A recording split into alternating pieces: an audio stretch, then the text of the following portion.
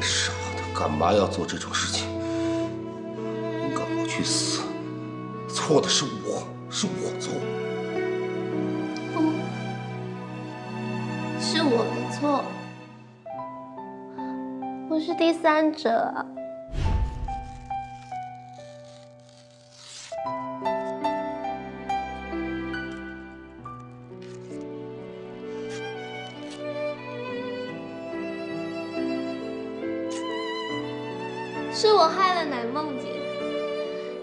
躺在里面的人应该是我才对。胡说什么呀？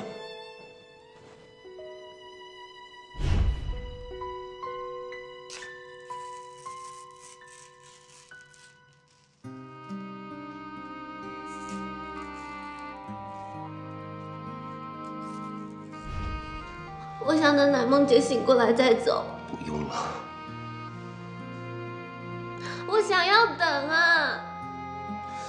怎么那么不懂事呢？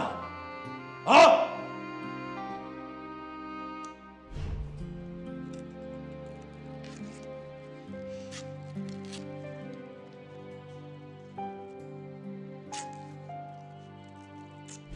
如果他醒过来看到我们俩在一起，我不想，我不想再刺激他，知道吗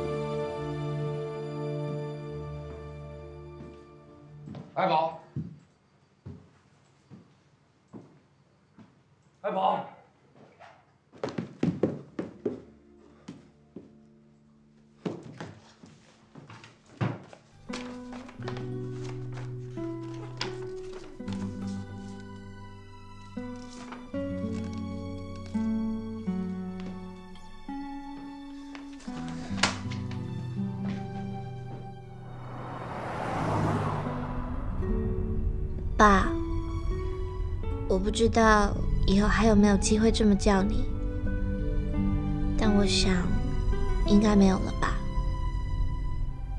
这是我第一次，也是最后一次写信给你。我很少写信，所以不知道从哪里开始讲起。首先，我想告诉你的是，我已经结婚了。我一直在想，究竟隐瞒和欺骗，哪一个更不可原谅？但我真的无法隐瞒你，在我再一次遇到你的时候，我就知道我无法隐瞒什么，所以只有骗你。也许你会觉得很奇怪，为什么我才刚离开你，那么快就嫁给了别人？其实我自己也不明白，自然而然就那么做了。也许这就是命运吧。你记得我离开你的那个晚上吗？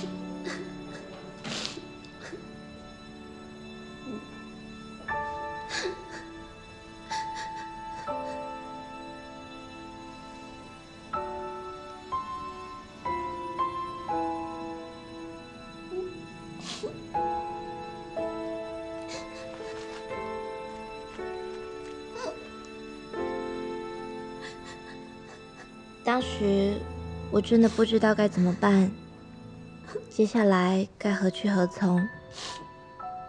然后他就在我面前出现了，不知道为什么，我选择信任他。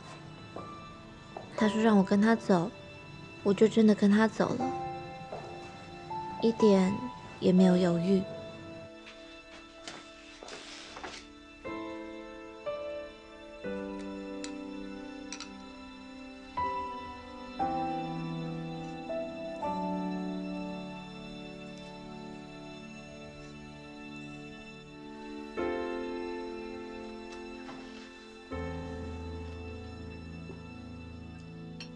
他居然会煮米粉，而且煮的很好吃。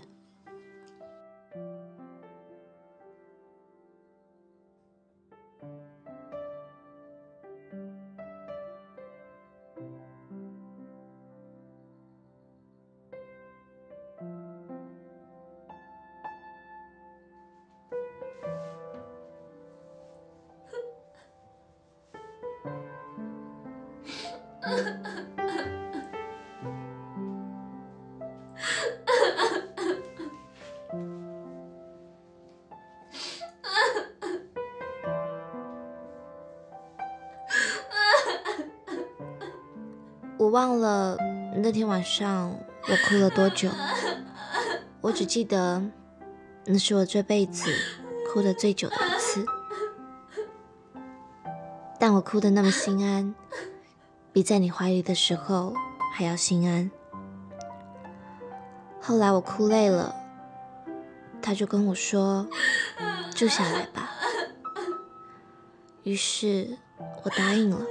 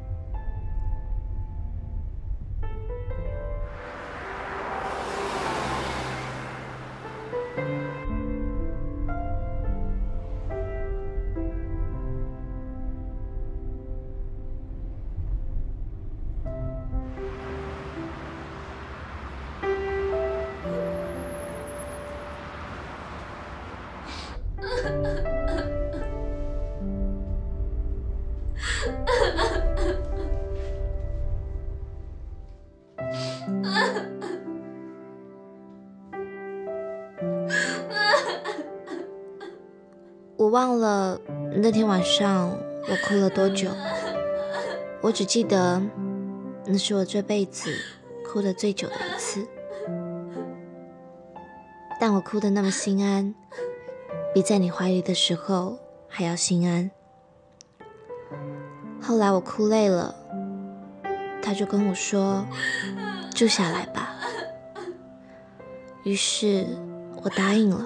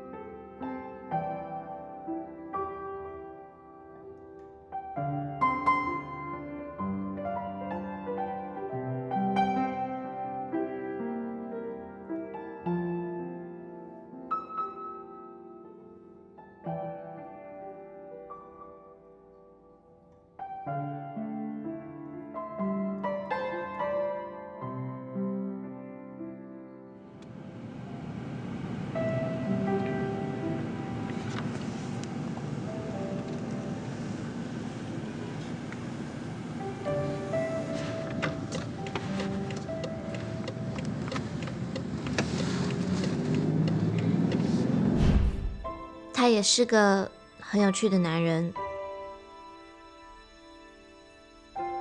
不过是另外一种类型。他想尽办法逗我开心，我渐渐的就不再那么难过了。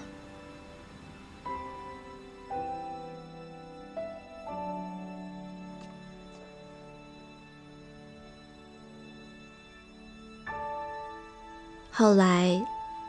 他向我求婚，我自然的就答应了他。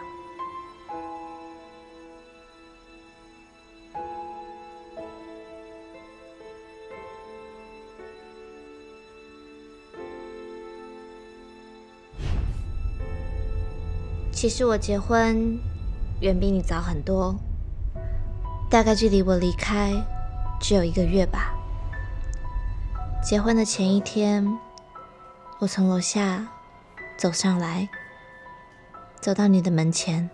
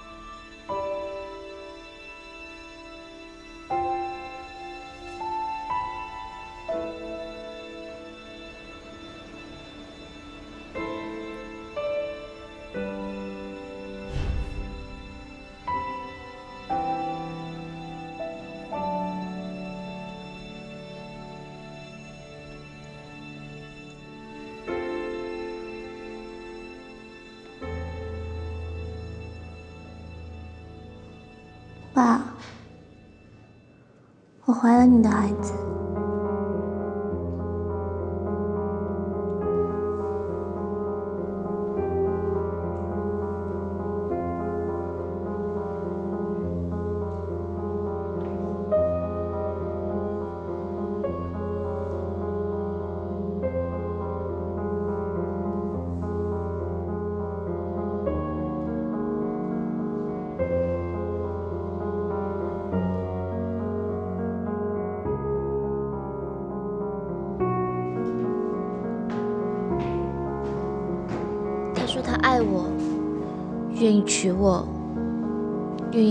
起养大孩子。于是我嫁给了他。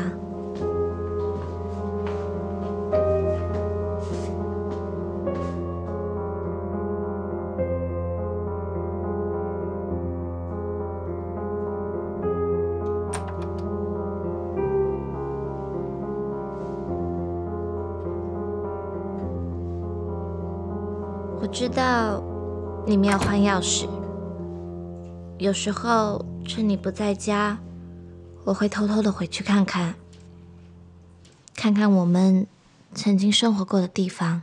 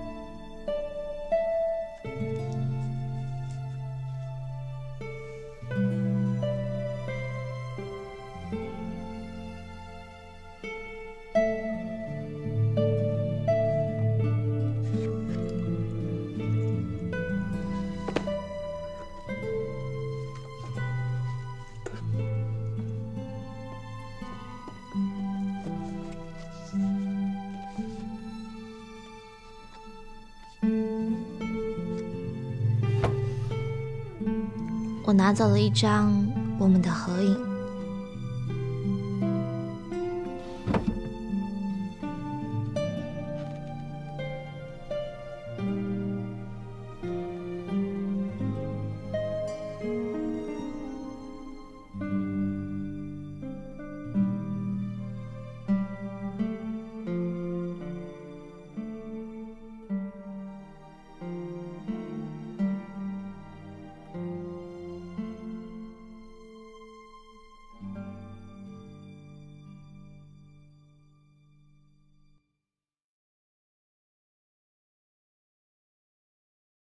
我知道你不会让我保留那个孩子的。我们搬走了。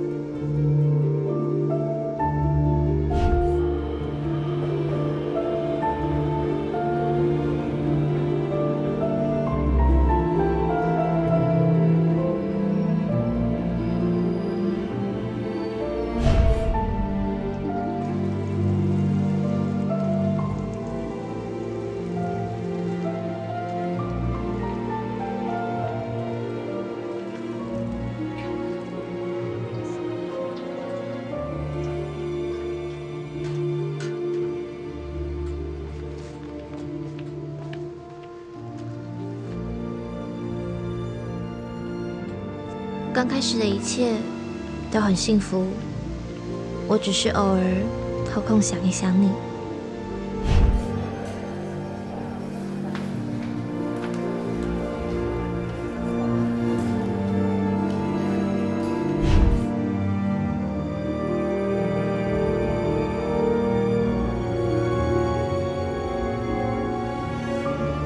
我的肚子一天比一天大。他把我照顾得无微不至，直到孩子生下来后。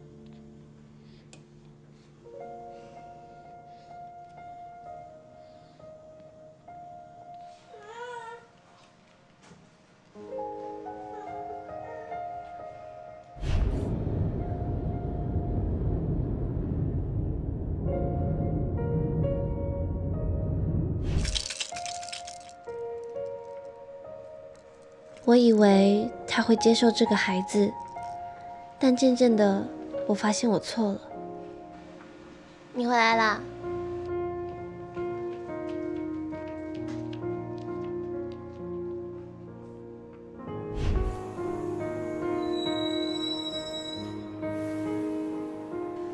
孩子生下来几个月后，他开始对他不理不睬，慢慢的，他变得越来越过分。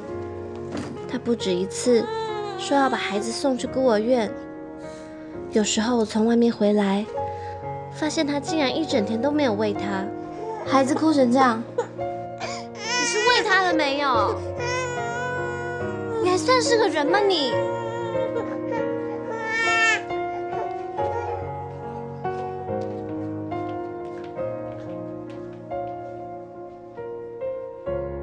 你就说这里有什么不好？这里就是我。跟他吵架，他说他爱我，我要跟他离婚，他又反过来恳求我。我相信了他，我相信他是爱我的。他看着我的眼神，跟你早些时候看我的眼神一模一样。那恐怕就是爱一个人的眼神吧。他年纪比你小，我觉得我也是爱他的。有时候我问自己，是不是我做错了呢？但是我真的很想要那个孩子，那种心情，恐怕是他，甚至你，都不能理解的。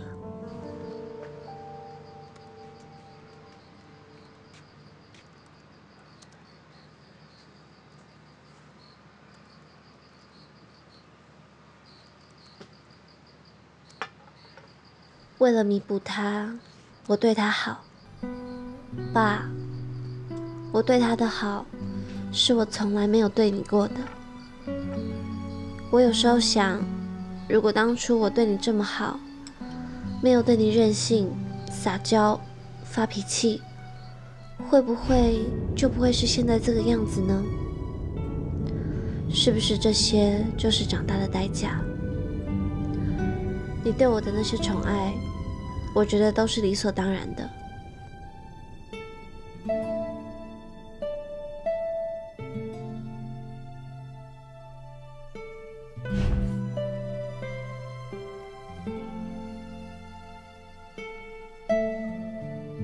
我越对他无微不至，他越认为我是在弥补，我根本不爱他，于是他越来越恨我。他说他自己因为某种疾病失去了性能力，所以不能有自己的孩子。也许因为如此，他更嫉妒我跟你的孩子吧。但我却没有想到，他对孩子的恨居然到了那种地步。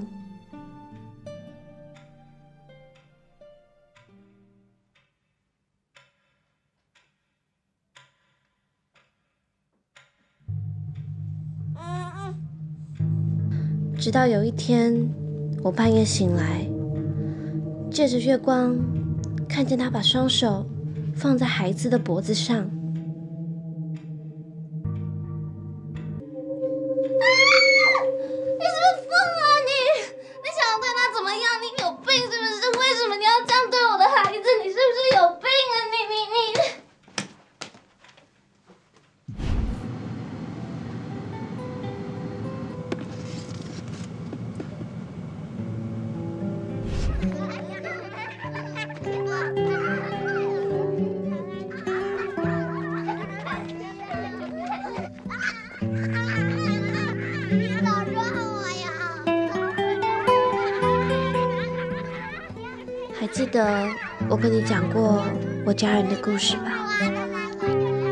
那些事情给我留下太深太深的印象，塑造了最初的我。我妈妈是个还有妇之夫通奸的情人，而我是个见不得人的私生子。我以为我们会以这样的身份苟且活一生，但我妈妈不甘心，她不但恨我，更恨我的爸爸，所以她要报复。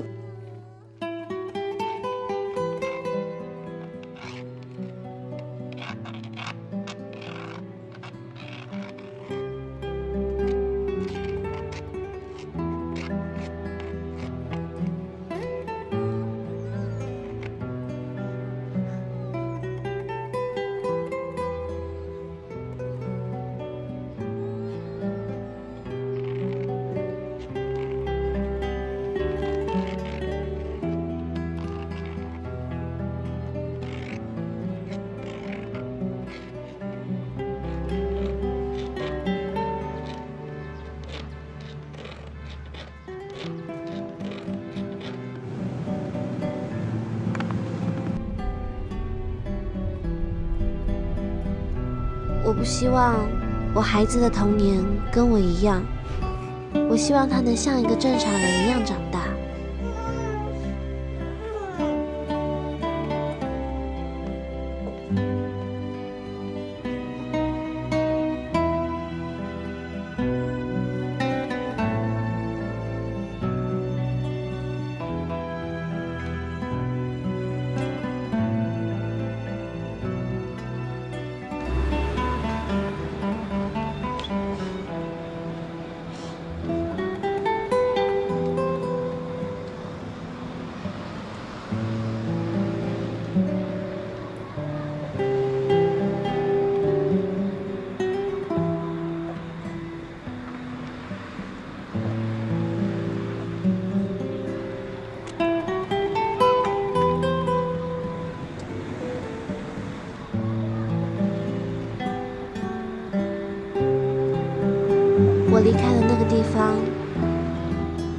时间以来，我一个人和孩子一起过生活。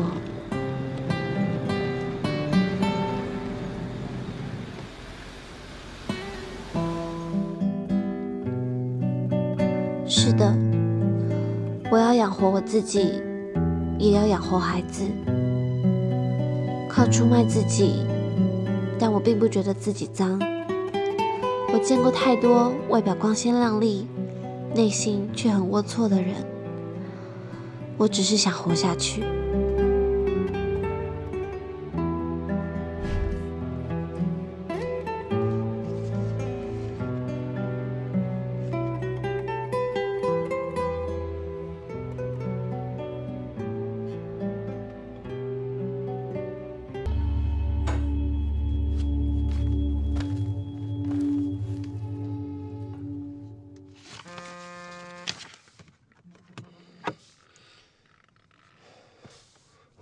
什么事儿？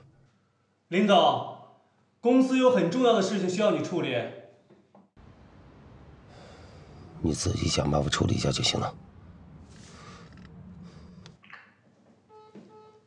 林总，这怎么了？就是啊，是不是有点儿？啊，当老板都这样了？让我这打工怎么办？字儿怎么签呀？合同怎么签啊？这个好办了，家里有事呀？肯定有事。咱这待着怎么办？就是呀，这个。现在必须得找。大家先别乱，乱有什么用啊？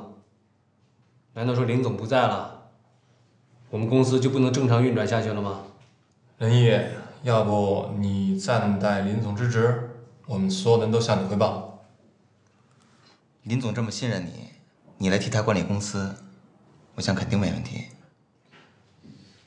当机立断吧，是还有好多事要处理呢。现在需要一个人赶紧做。公司总不能没有领导，对吧？是那我们来管理这个公司，我觉得这样挺好这么多业务，那以后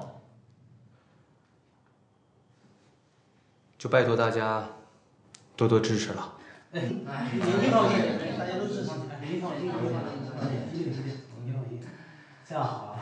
有领导，咱们这边子说话，对呀，咱们公司面这个一个领导不行，一个领导没怎么办呀？哎呀，下面的事情也好过吗？对对对对。这样，各位回去该怎么工作还怎么工作，近期的工作安排我会尽快发给大家的，好吗？我先走一步。哎，好的好的。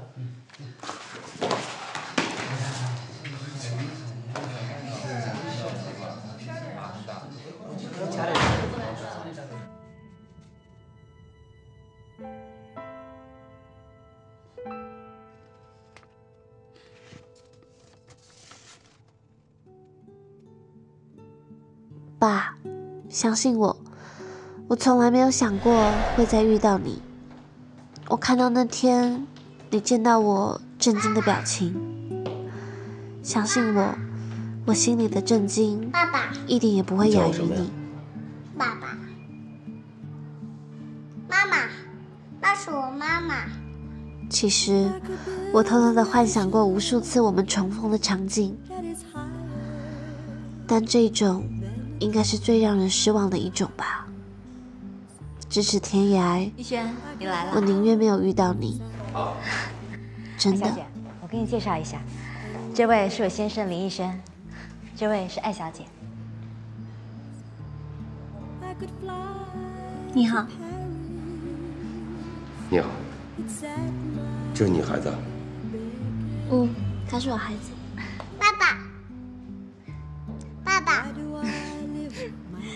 娜娜，他不是你爸爸。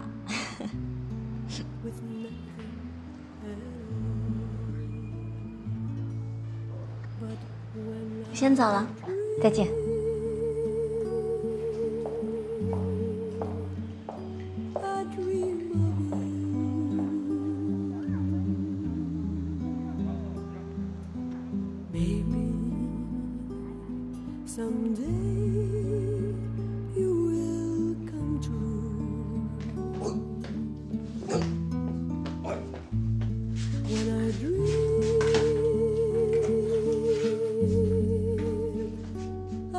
想要把这一切全部告诉你，但是我说不出来。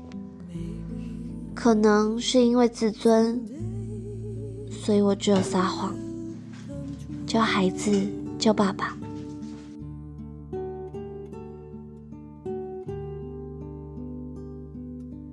接下来的这几个月，更是我无法想象的。每次和你单独在一起。我都一直紧紧抿着嘴，你发现了吗？因为我怕我忍不住脱口说出什么，最好连呼吸都停顿。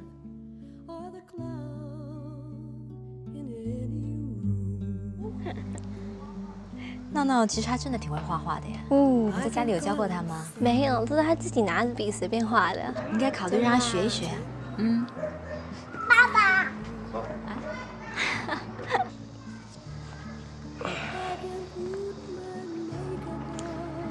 来吧，给我吧，我们该回去了。嗯，哎，不如我们一起吃饭吧，等会儿还可以接着聊啊。你们好像聊得挺开心的。嗯，好久没任何人聊得这么开心了。一起吃饭吧。不了，我跟孩子还有事呢。嗯，那让我们送你。没关系，我打车回去就行了。我们改天接着聊。嗯。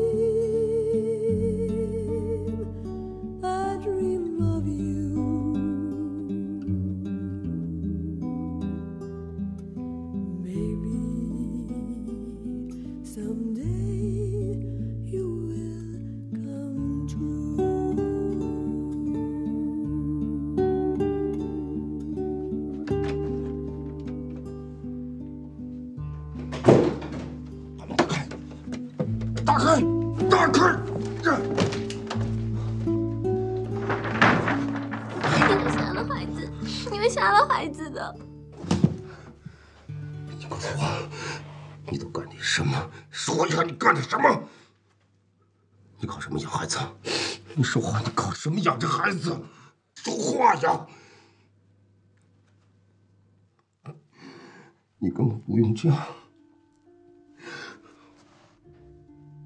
我是你爸，我可以养你，知道吗？我可以养你。我开始心里一点都不痛，压抑太久也就麻木了。是你一点一点把我的痛觉唤醒，我才发现自己又是个人了。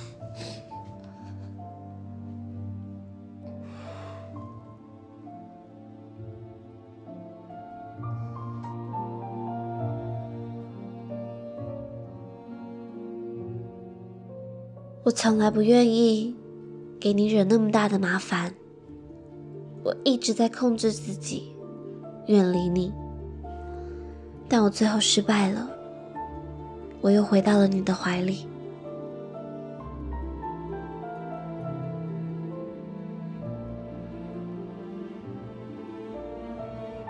是人就会爱，会恨，会同情，会嫉妒。我喜欢南梦姐，是发自内心的。她是那么的善良，帮助和关心我这个陌生人，而我却在背后勾引她的丈夫。在古代，这样我应该会被送去游街吧？但有股控制不住的力量推动着我。让我去靠近你。每次看到你们恩爱的样子，我都会嫉妒。所以和你单独在一起的时候，我能够感到满足，即使伴随着深深的罪恶感。现在我要走了，我已经被他找到了。我知道他不会放我走。他是个偏执的人，选好了方向，就会一路走到底。也许他也没有恶意吧，我不知道他会怎么样对这个孩子，所以我必须尽快的找到他。不过你放心，我会用生命去保护这个孩子的。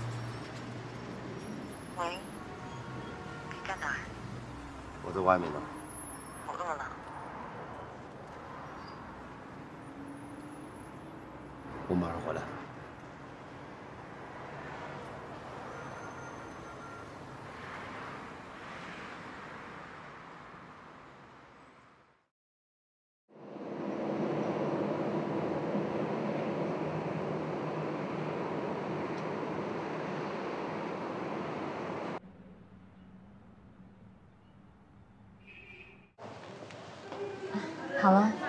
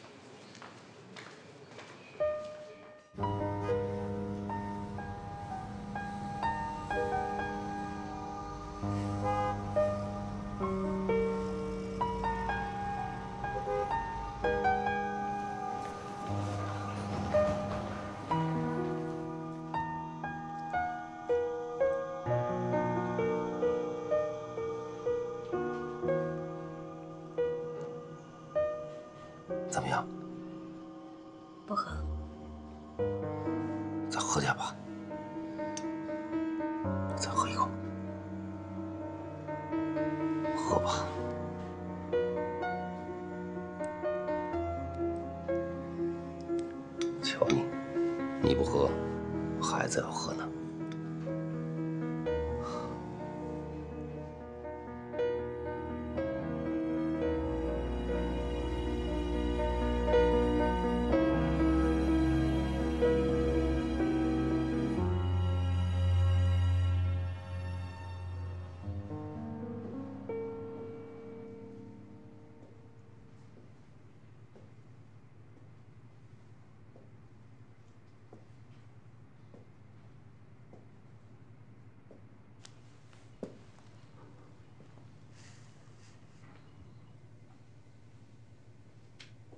谁啊？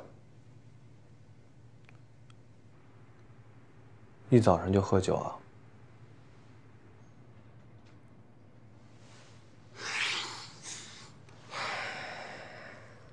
早喝就好啊，一天都是醉的。兄弟，坐，陪哥哥喝一点。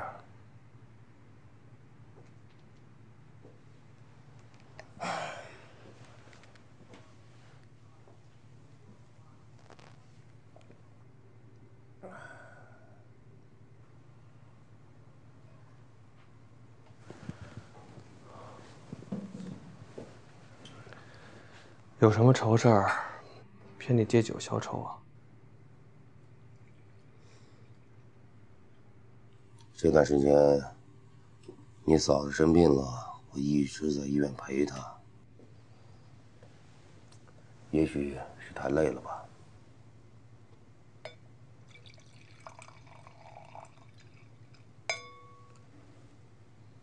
嫂子她还好吧？医生说他没什么大碍，应该休整一段时间就好了。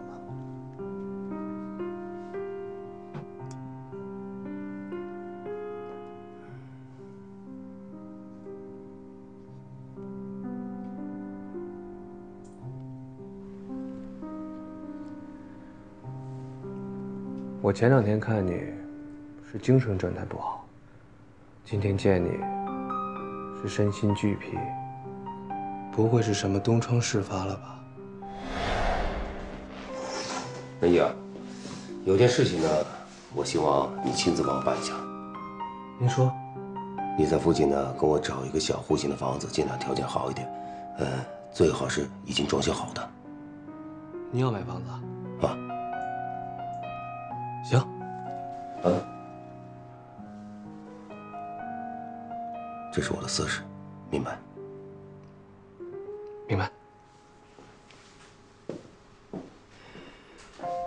上面那就轻一点，别磕着。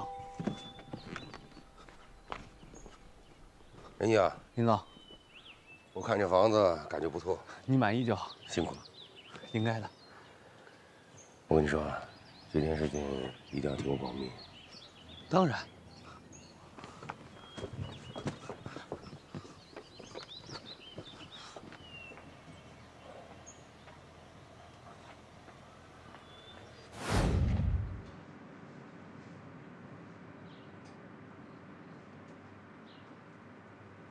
林总，没什么大不了的事儿。咱们公司眼看着蒸蒸日上，马上晋级 for A 接下来还有个大项目，可是一笔大单啊。听到这些，都不能让你开心吗？情况进行的怎么样了？一切都在掌握之内。资质问题马上解决，还有就是竞标的问题。我打探了一下，其他几家有竞争力的公司，在这个项目上，他们完全没有我们投入的多，也未必参加最后的竞标。毕竟，他们也要保存一些实力嘛。另外，我找了其他两家公司来陪标，都不是 for a，基本上没什么竞争力。况且是陪表，完全可以忽略不计。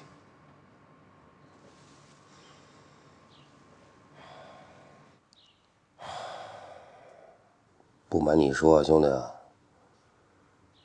最近呢，这家里弄得一团糟。幸亏这公司有你啊，也算得我一点安慰吧。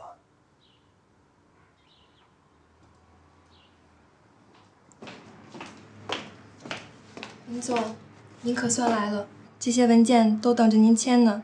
您要再不回来，公司的活快干不下去了。从今天开始，如果我不在的时候，公司一切权利都交给仁义啊，他可以全权代表我，明白吗？明白。那我把这些文件放到副总的办公室去。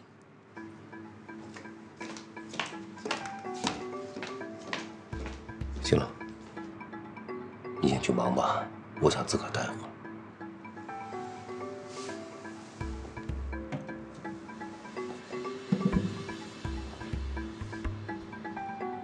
少喝点，对身体不。好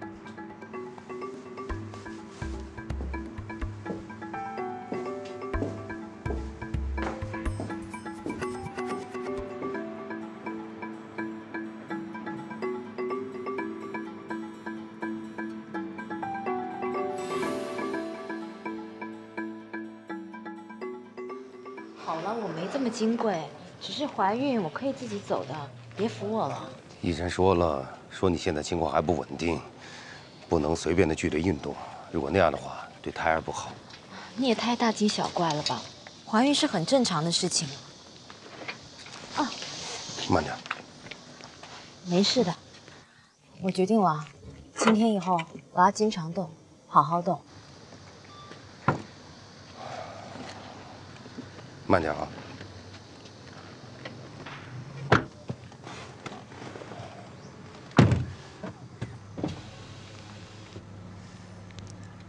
决定了，今天以后我要改变一下我的生活方式，不能再这么依赖你了。你想怎么改变啊？我要有我自己的生活，我要有我的朋友，有我的工作。我不想每天像怨妇一样待在家里。我想要多花一点时间和我的朋友接触。还有，宝宝出生后，我会更爱他的。你要慢慢适应。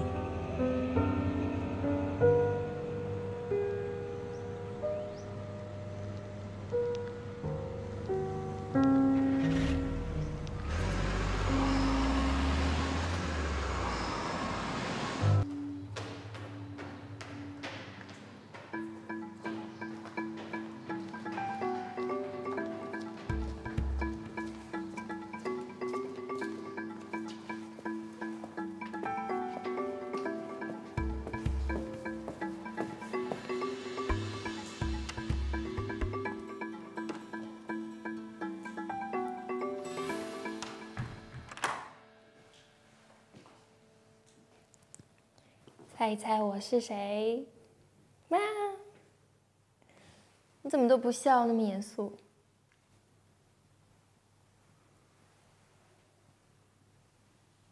嗯？怎么啦？你又送我礼物啊？哇，这么大！嗯，是什么啊？还好你的东西不多。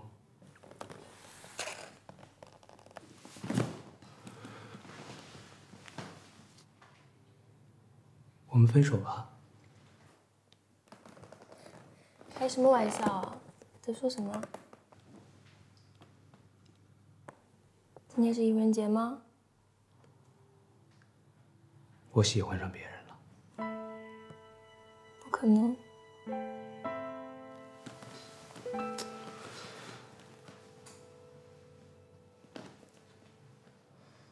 少什么了吧？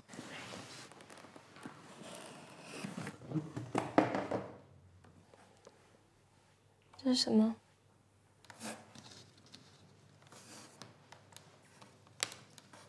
还好你的东西不多挺好收拾的。什么意思呢？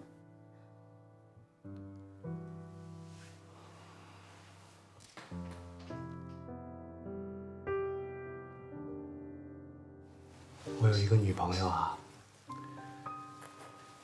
她的男朋友把她给抛弃了的时候，也是这样，把所有的东西都装到一个纸盒箱子里。那个纸箱可比这个大多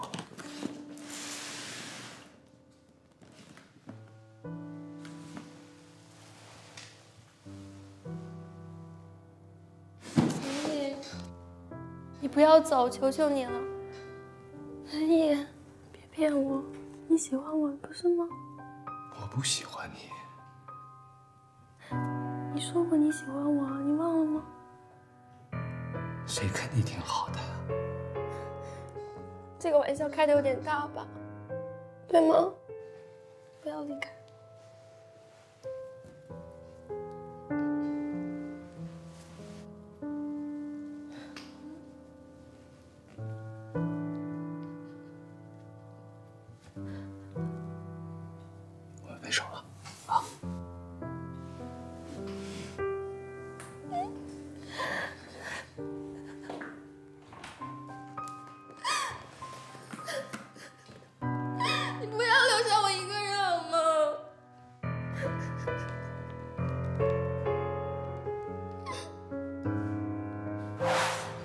天是不是把仁义的电话给那个模特了？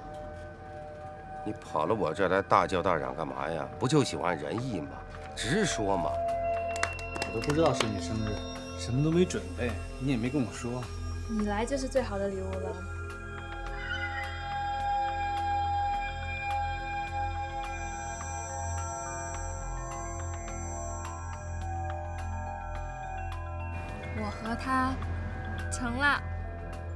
什么叫成了？我郑重的告诉你，他已经是我的男人了。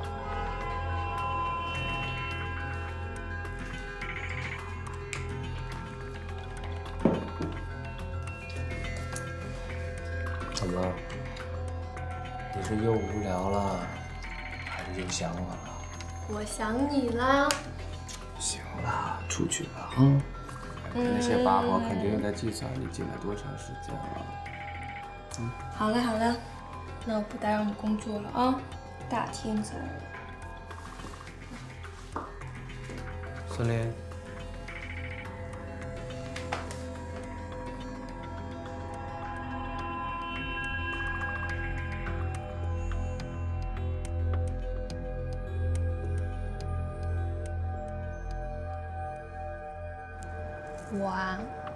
就喜欢你这个冷冰冰的样子，酷酷的。这可是你说的。那以后要对你不好，我就有理由了，因为你就喜欢我这款。不可以，你怎么能挖个陷阱让我跳呢？你只能对我一个人好。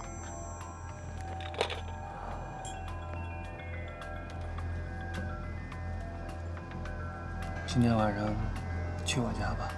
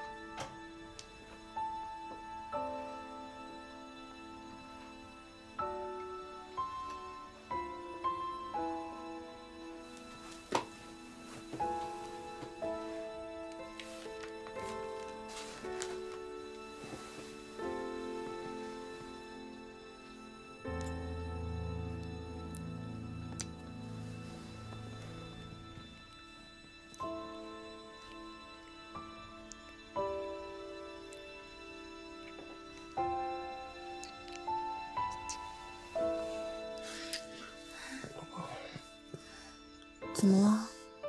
我有点累了。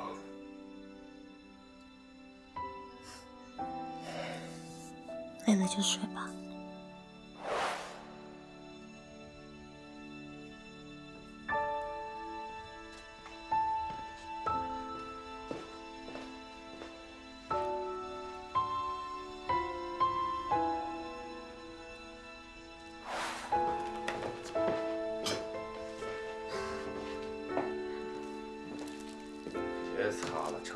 擦，有啥好擦的？这家里活干不完的。哎呀老公，你挡住我电视了。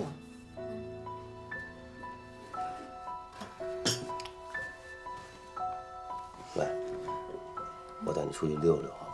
吸收一下新鲜空气，别在家待着，空气特别不好。哎，你让我把电视看完吧，现在正精彩呢。有啥好看的呀？我跟你说，电视辐射最大了，万一咱们有孩子，我对孩子不好。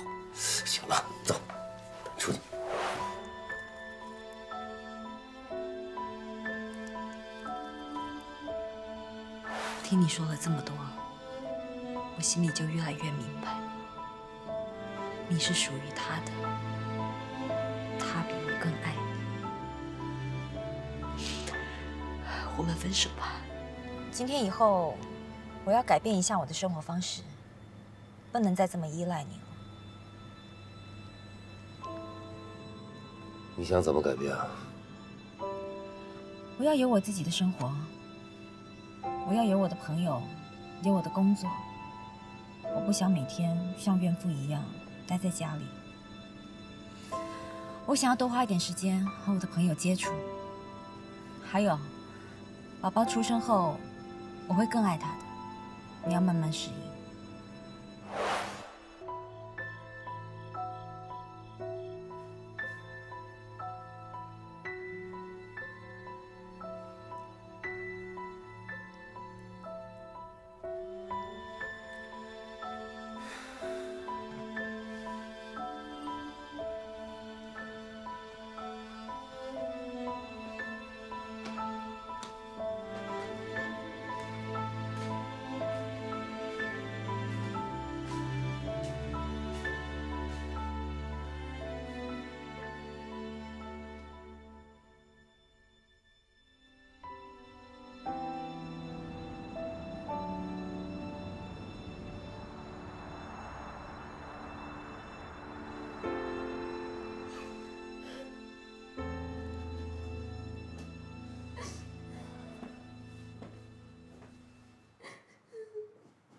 行了，你别老哭行吗？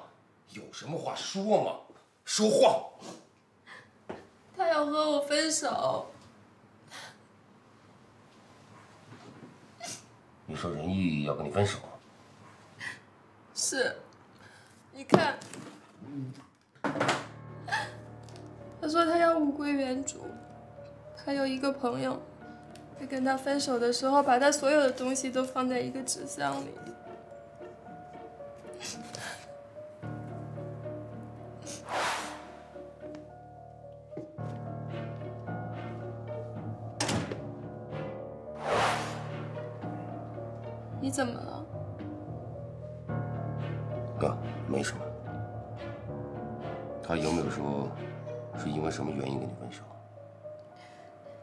他爱上别人了。他怎么能爱上别人呢？你都不知道他转变的有多快。有些事情迟早都会发生的。你早就知道他爱上别人了吗？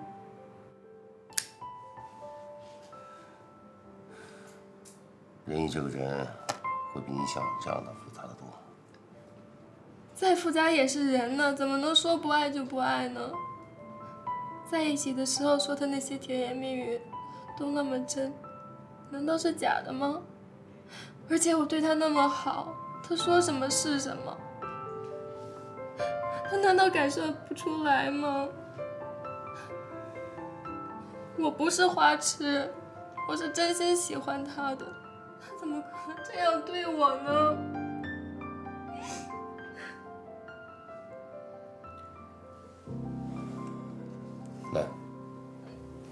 擦擦。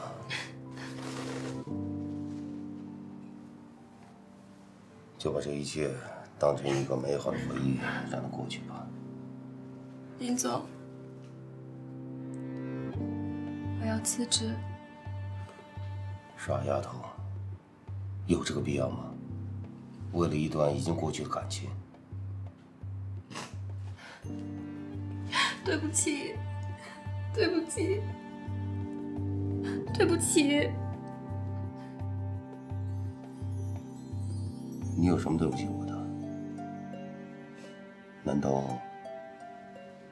你有什么事瞒着我吗？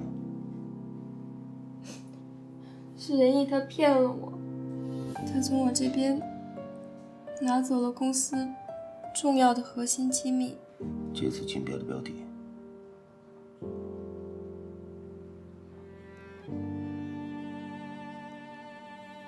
是参与竞标的另一家公司是仁义的。我打探了一下其他几家有竞争力的公司，在这个项目上，他们完全没有我们投入的多。我找了其他两家公司来陪标，都不是 f A，基本上没什么竞争力。况且是陪标，完全可以忽略不计。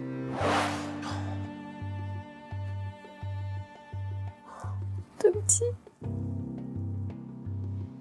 你早就知道这件事了。不是的，我也是这几天才知道的。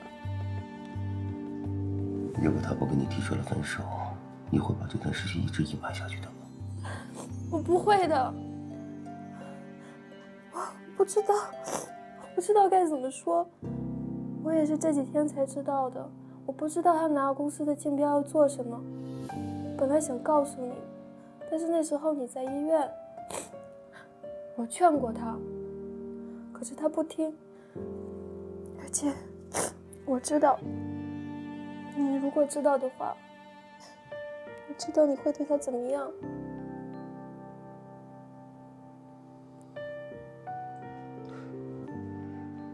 感情这东西真的很可怕。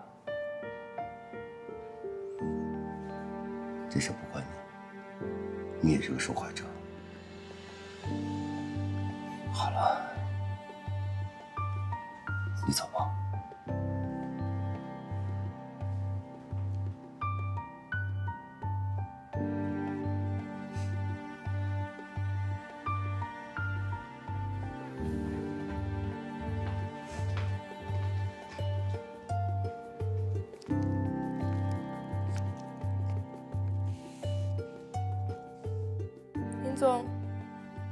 不走了。自己的犯的错自己负责，我会尽力帮你挽回公司的损失。